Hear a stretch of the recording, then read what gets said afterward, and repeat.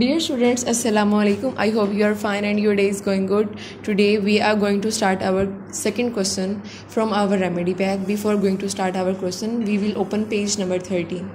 At page number 13, we are having our second question and that is about SLOs. Means first you will read out something and then you will use your creative ideas to solve the question from these concepts that you have read earlier.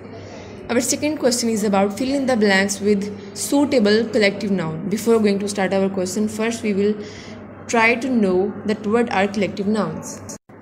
Let's have a look at the definition of collective noun. What is collective noun?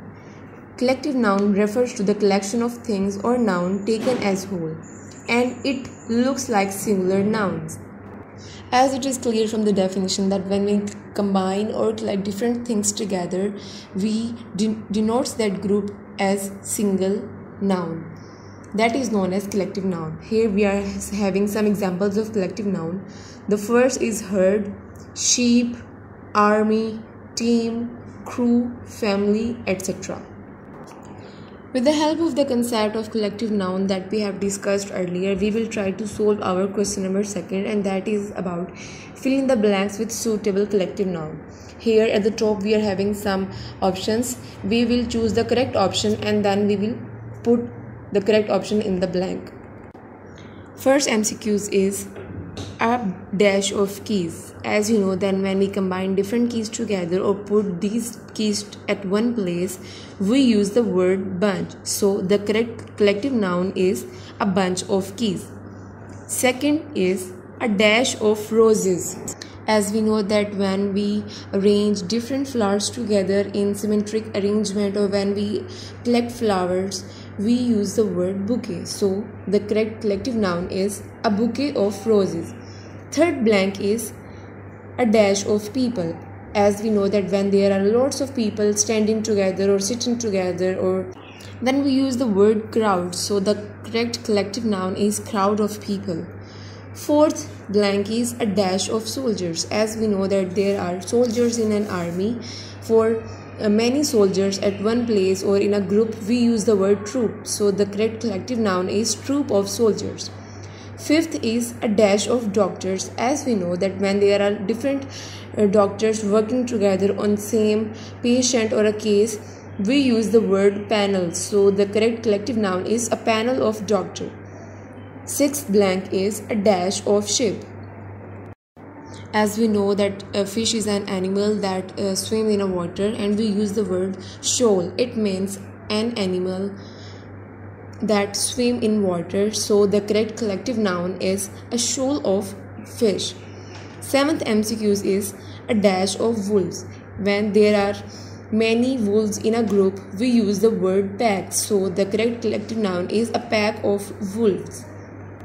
Let's have a look at the blank number 8 a dash of sheep. As we know that the plural of sheep is also a sheep and when there are different sheep or different category of sheep at one place we use the word flock. So the correct collective noun is a flock of sheep.